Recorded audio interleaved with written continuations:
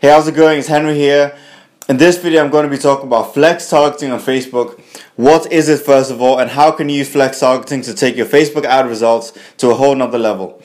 So if you know anything about Facebook ads, what you know is there's three different components to a Facebook ad. You've got the, on one hand, the Facebook ad campaign level, where you choose the campaign objective. You've got the ad set level where you choose the targeting, and then you've got the advert where you choose the creative and the copy and so on. So flex targeting is down to the second component, which is the ad set level. In this level, again, as I said, we, we you want to specify the type of audience you want to target, and flex targeting is very useful when you've got two different uh, audiences that sort of intersect or overlap. And in order to illustrate this point, I'm going to put on, on the screen a Venn diagram because that is basically what you want to be doing with flex targeting. So let me explain. With flex targeting, say you've got interest X who you want to target or audience X, people who fit a certain demographic, and they overlap with audience Y.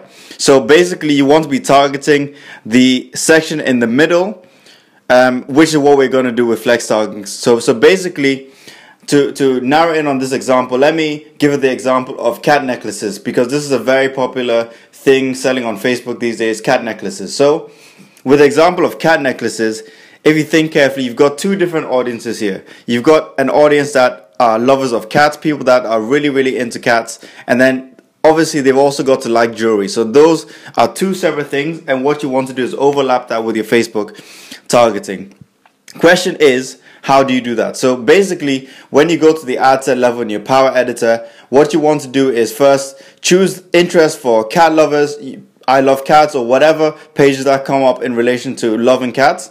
And then you want to go to click on the narrow further button, which will allow you to then customize it a bit more. And then you want to choose people that are into jewelry or choose jewelry brands and whatever. So that gives you two separate audiences that of course interlap. So Facebook is then going to go out and search for cat lovers that also meet the criteria of liking jewelry. So that is a perfect audience for you and that's an example of flex targeting. So you can, as I said, use that to uh, in any example where you've got two audiences that overlap, flex targeting is perfect for that on Facebook. So I hope this video helped. It's once again a very short one, but just wanted to give you a bit of value today. And Please ask in the comments if you've got any question related to this and I'll clarify it either in the comments or in a future video. Please like this sort of content if you, you like this video. Please, I would appreciate it a lot because I'm uh, trying to put out really good content for you guys. And subscribe if you like this sort of content. And I'll see you on the next video.